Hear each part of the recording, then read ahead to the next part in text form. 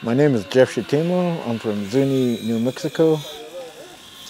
I'm primarily a Zuni fetish carver, I also do sculpting, jewelry, metal sculpting, trash to art, and you name it, I probably will do it.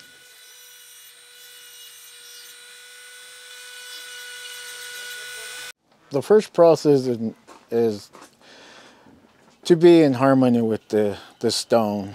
Um, always having positive thoughts as you're going along with creating something.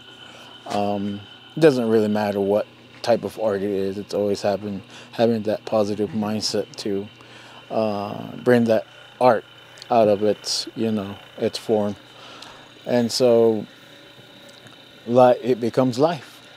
The animal within the stone comes out from the stone and it takes on a life of its own.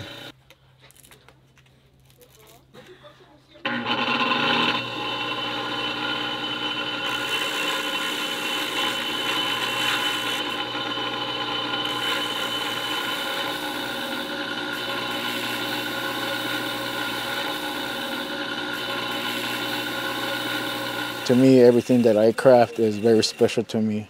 I put my heart in every piece and so I try to have that positive energy transfer into my my work. You know, I mean, this is a part of us. Grand Canyon is a part of us. Uh, Zuni has, you know, ties to the Grand Canyon, and so just being here is a blessing.